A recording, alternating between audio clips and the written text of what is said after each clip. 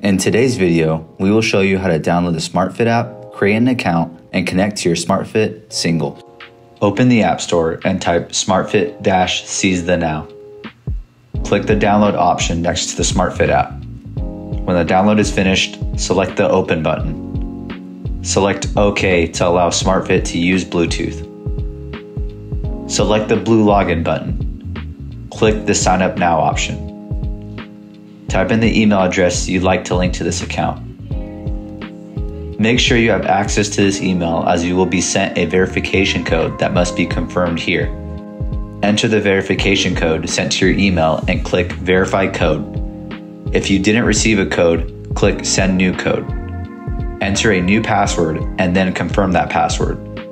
The password must be between 8 and 64 characters with an uppercase letter, a lowercase letter, a digit, and a symbol. Depending on your device, you may be able to use an auto generated password if you would like. Continue to fill out your first and last name. It is important to pay attention to the role you select. A trainer, coach, doctor, therapist, or owner will be a managing user that oversees managed users. Clients, athletes, members, and patients are the managed users that collect data and can perform every function of the app except for managing another user. Fill out the gender, then select the Create button.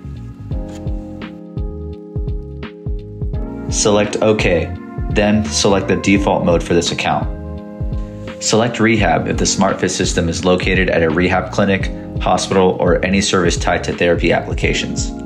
Select Fitness slash Sports if your interest is fitness or performance. The Home Fitness slash Sports mode is not available for managing users.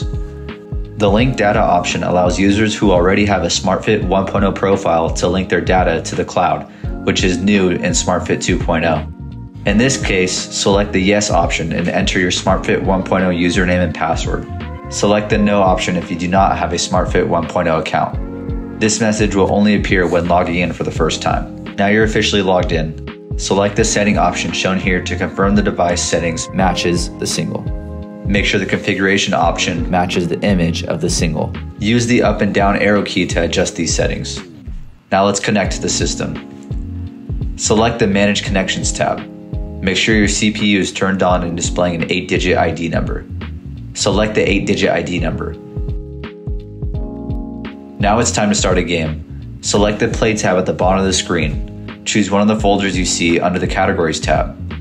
We recommend you watch the video found under the orange Learn About button. Choose a game, read the game rules, adjust the standard settings, then select the blue Start Game button strike the go target to start the game.